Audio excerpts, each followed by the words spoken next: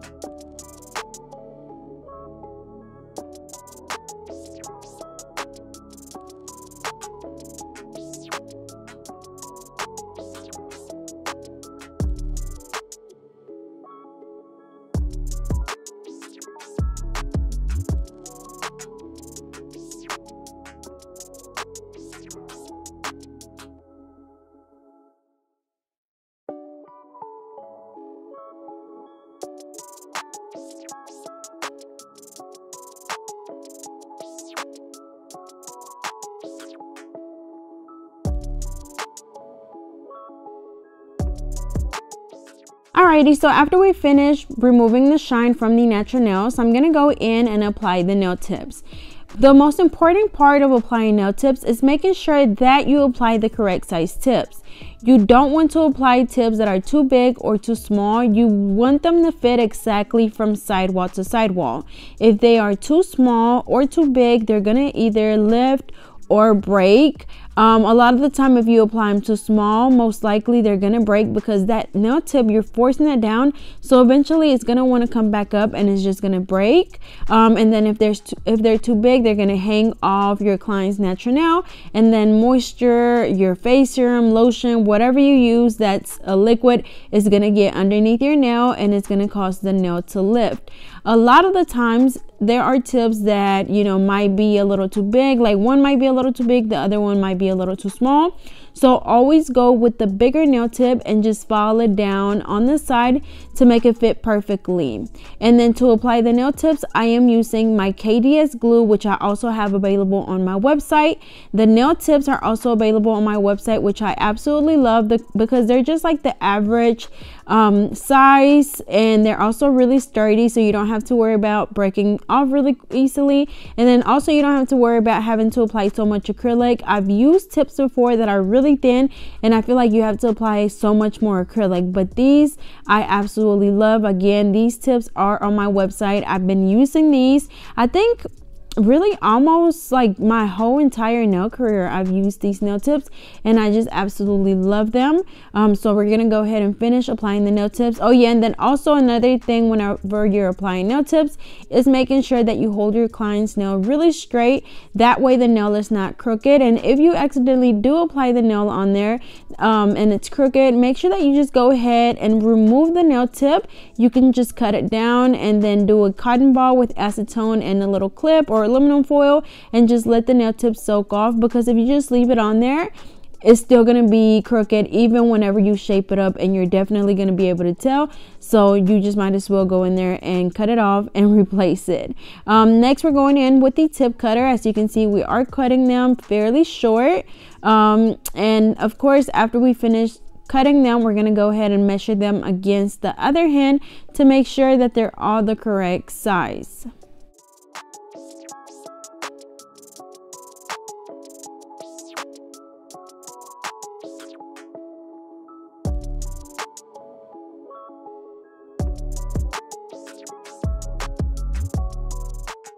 Alrighty, so after we finish applying the nail tips, I'm not going to shape them up now because they're already a square shape. So what I'm doing is just going in with that same 180 sanding band that I used to remove the shine from the natural nail.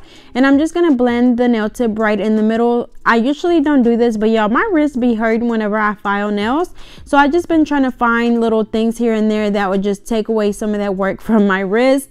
Um, you know whenever you do nails for a really long time you start experiencing back problems wrist problems all type of problems. So definitely one tip that I can tell you you guys for beginners is to take care of yourself. Okay, actually, I thought I wasn't going to reshape them or shape them up, but I went ahead and just very um, quickly shape them up because, again, they're already that square shape. Um, so I'm just going in and basically redefining the shape. But a lot of the time when the nails are already short, um, sometimes I don't shape them up before I apply the acrylic because you do take away some of that length when you file them, you know, when you shape them like this first time and then I have to reshape them again after the acrylic application. So to keep some of that length, I just shape at the end. Um, but anyways we're just going in on the sides and the free edge at exactly a 90 degree angle on both hands. And remember that whenever you are shaping your nails you want to make sure that you are paying attention to the way that you're holding your file because if not your shape is going to be either rounded at the corners or you're going to overfall on one side. So make sure that you always pay attention to what you're doing. I cannot stress that enough but trust me y'all i've watched people literally you know be doing nails and they're just like talking which don't get me wrong i talk my but my butt off all day every day when I'm doing nails but I'm watching what I'm doing as I'm doing it so it's super important that you do that so after we finish um, reshaping the nails or shaping the nails I'm gonna go in and just dust the nails off and then we're gonna move on to the acrylic application so before we apply the acrylic we have to go in with the primer the primer is just to help the acrylic adhere a lot better to the natural nail. So I just apply that on all of the nails, only on the natural nail. And then we're going to go in with the acrylic, which I'm going to be using my JC Beauty Concepts acrylic system, which is going to be a pink acrylic which is the dramatic pink by JC Beauty Concepts. And then I'm also using their um, monomers. So the first bead that I applied I applied it closer to the cuticle area patting it down really really gently and then brushing that acrylic down towards the tip. And this is also my real speed right here. So you guys can see how gentle I brush. I'm literally like just feathering the acrylic super gently. If you brush too hard you're gonna brush that acrylic off the nail and it's gonna be a waste of product. So also going around the cuticle area with my brush I am using the number 10 alpha brush. Um, this is like the regular number 10 alpha brush. You guys know that my brushes um, launched yesterday actually and they completely sold out. So if you got to purchase my brush set thank you guys so much for the support. They will be back out in a few months. Um, we are going to be relaunching them again. So for those of you that missed out on the brush set don't worry they will be back. Um, but anyways now we're just going in and applying a second bead um, right below where we applied the first one. Same thing patting it down and very gently brushing it down towards the tip.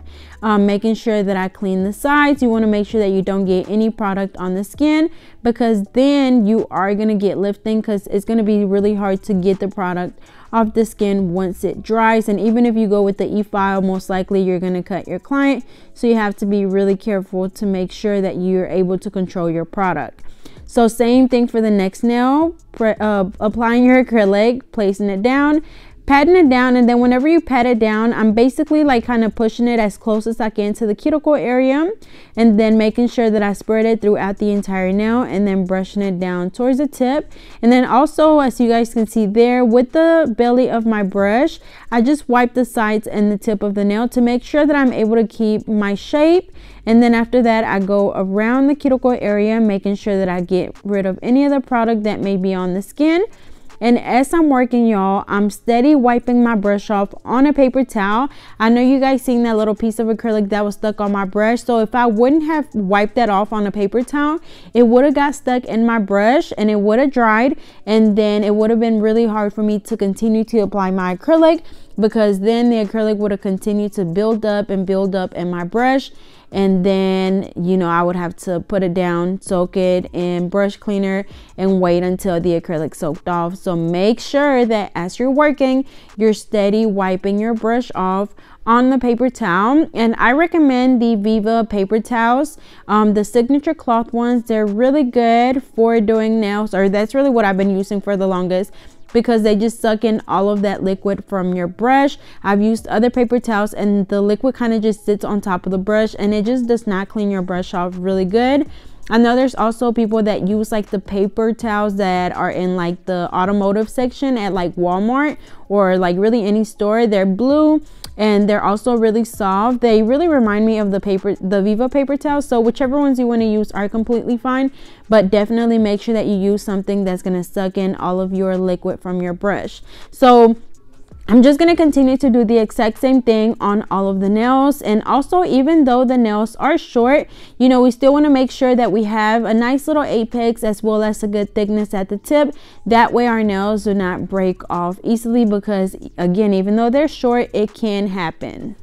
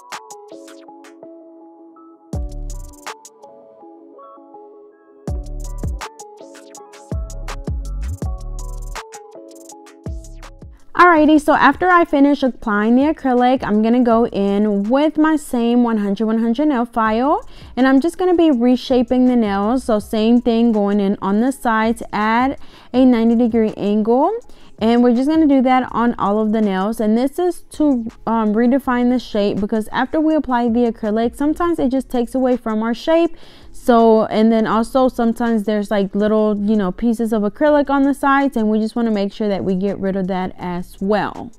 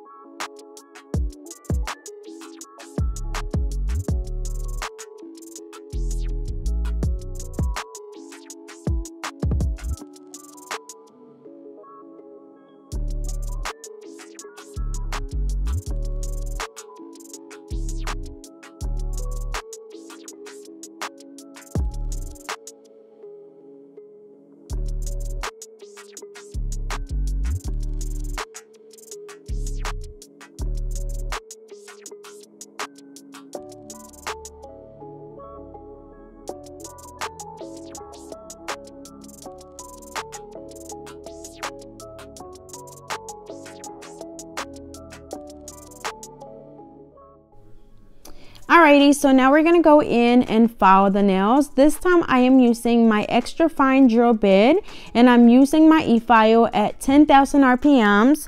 And what I'm doing is just basically making sure that I seal the acrylic around the cuticle area really good to make sure that it's nice and neat and sealed. That way we don't get any lifting. And then of course, making sure that I file the entire nail to make sure that it's all nice and smooth. And even though I'm able to apply my acrylic really nice and even, I still file the rest of the nail, but mainly focusing around that cuticle area because this is where like 80 or 90, really 90% of your lifting will come from if you do not seal the cuticle area correctly. Trust me, when I first started doing nails, I was scared to file around my clients' cuticles really good because I was scared to cut them. But the only way to get better is by practicing. So if you need to slow your drill down a lot, that is completely fine. You just have to get used to the motion of going around the cuticle area. And also, as you guys see, whenever I'm working, I'm holding my client's finger with my pinky or I'm resting my pinky on my client's finger and I just feel like that helps me get a like really good stability that way my drill is not just all over the place so the more you do nails the more comfortable you're gonna get and like you're just gonna kind of find little things here and there that are just going to help you make the process a lot easier. But again, this step, y'all, is super important when it comes to lifting. I know whenever I was first doing nails, like, or when I was experiencing lifting, I felt like I was doing everything correctly, y'all. And it's honestly just a process of, of elimination. So you're like, okay, I'm prepping the nail correctly, so that can't be it. You know, I'm applying the correct size tips, so that's not it, you know. So you kind of just try to eliminate what you think you might be doing wrong and kind of try to improve that. Um, but for me, it was definitely not filing around the cuticle area right, and that's why I was getting lifting. So just spend a little bit more time around time around the cuticle area if you need to, but make sure y'all that you seal that acrylic really good. Um, and usually I'm able to tell that I've sealed it good enough to where I'm able to see where the cuticle is where the natural is and where the acrylic is. That way I know that the acrylic is not on the skin. And again this is the extra fine drill bit this one will be available on my Amazon storefront. And basically I don't know if you guys know but my Amazon storefront is basically where I just add all of the products that I've purchased from Amazon that I highly recommend. And I just have them categorized by like items you need for um, press on nails, everything you need for acrylic nails. So I just added a whole bunch of different products some products I no longer use, but I still feel like they are really good for beginners as far as like the Mia Secret um, acrylic. You know, I know a lot of times people are trying to find like really affordable products to just practice with and i feel like mia secret is you know pretty good um if you're a beginner because it's cheap. I just don't want you guys to go out and buy like the really cheap sets from Amazon because y'all those are horrible when like people try to use those for um, doing acrylic nails because a lot of the time it's MMA acrylic and it just dries really hard and it just gives you a super hard time to where it kind of ruins your first um, try at doing now. So if you don't want to buy JC Beauty Concepts because you might think that it's a little too pricey for you or any other known brand then you know you could, consider using that one. But again all of those products are in my Amazon storefront. I also have just different random list of products but again all of those are products that I've used that I recommend to you guys. So be sure to go check it out. I'll leave the link down below um, so you guys can go straight to the link and it'll show all of my list that I've added on there.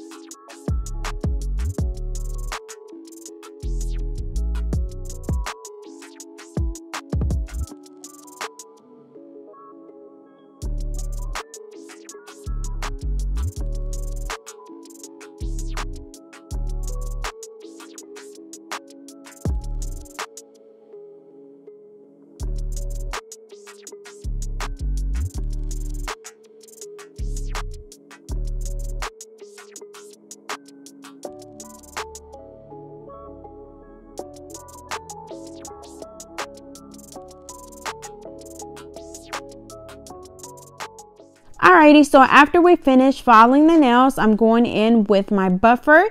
And this is just going to get rid of any of the scratches left on the nails from the hand file or the e-file. So make sure that you buff those nails really, really good because you don't want to see those scratches through your polish.